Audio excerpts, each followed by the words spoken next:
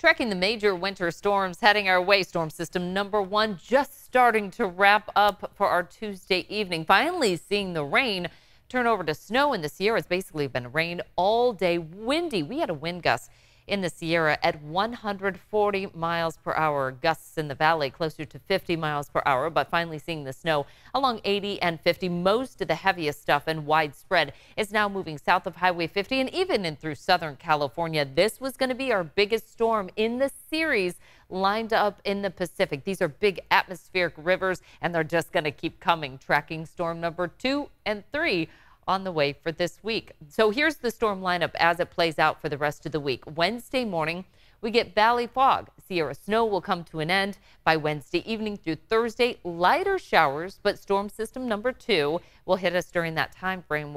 Snow level actually rising during the day on Thursday. Now that's going to lead us right into that Friday, Saturday storm.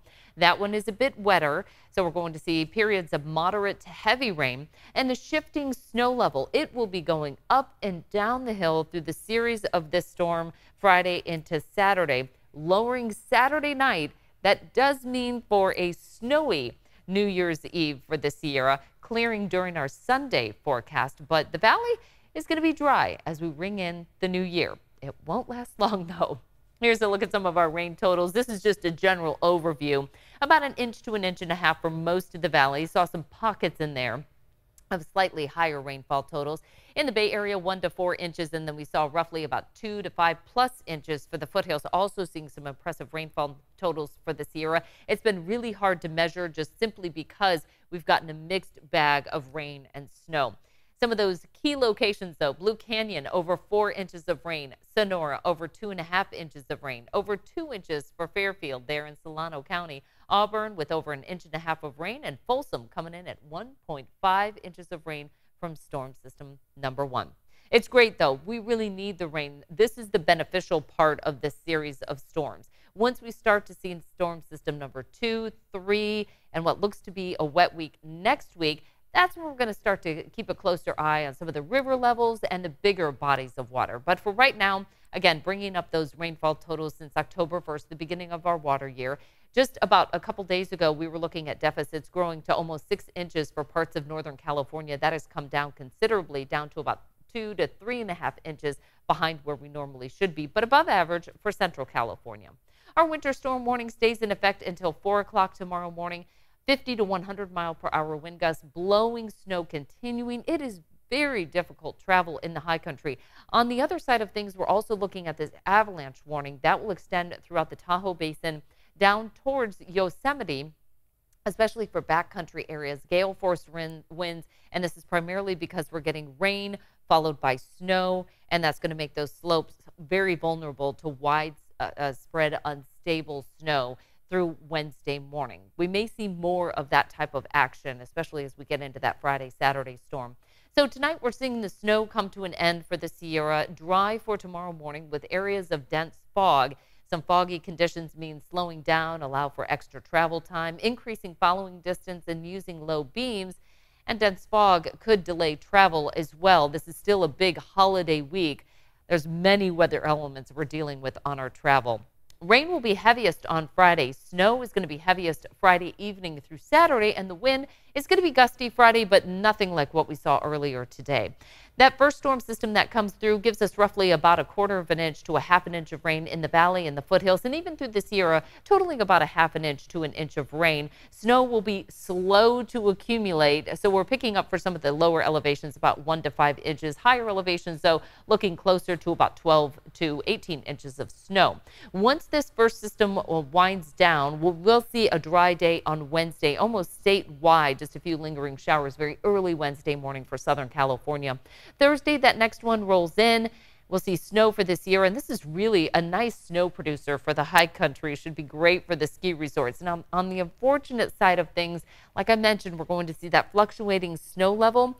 By Thursday night, we get the warmer air starting to move on in. That's going to bring up that snow line once again. So you can see on Friday morning, we're looking at rain mixed with snow for the high country, rain for the valley. This is a big plume of moisture, though, out in the Pacific. Nice atmospheric river coming through that will take us through most of Saturday.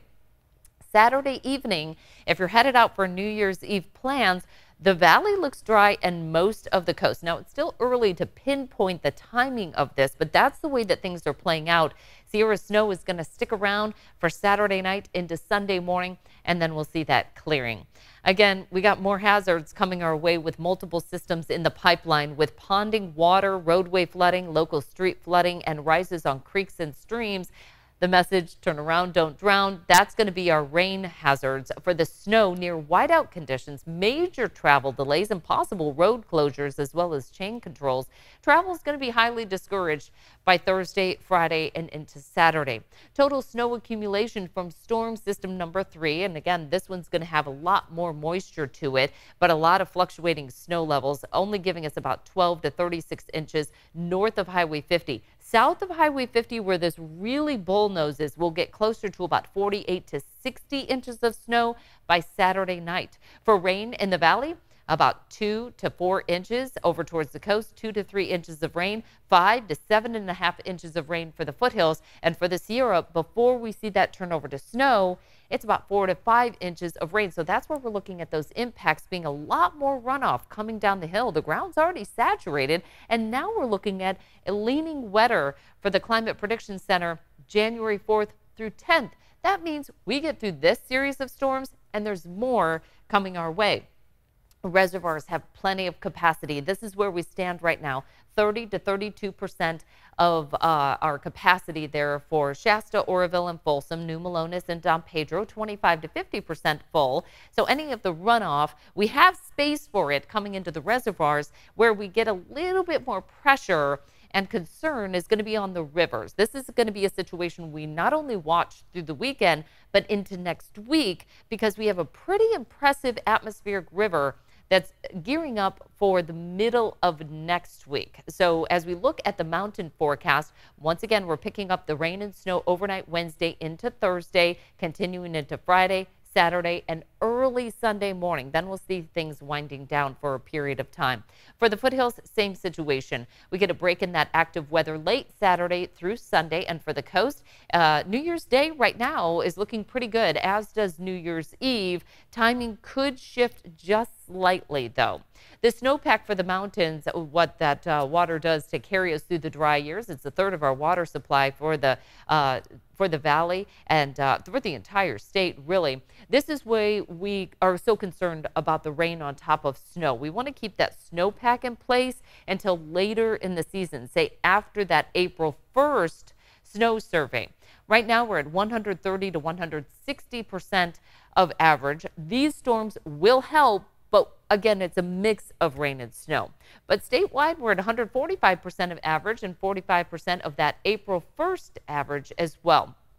Once we get through tonight, we get a break from an, our atmospheric river plume that just keeps pulling in that moisture from the Pacific. We'll have a dry Saturday night and Sunday for the valley. And then Monday, we start to see a weaker system approach. The one that may be a bit more of a concern is this Tuesday one, where you can see it really expanding throughout not only uh, the coastal communities, but also starting to push inland as well. That will last into Wednesday and could be the time frame that we really start to look more closely at our rivers and our reservoirs, just kind of checking on where things are. And you can see this 10-day forecast just all lined up, except for a couple of uh, hours of opportunity to get some dry weather in there uh, heading into the next 10 days, really.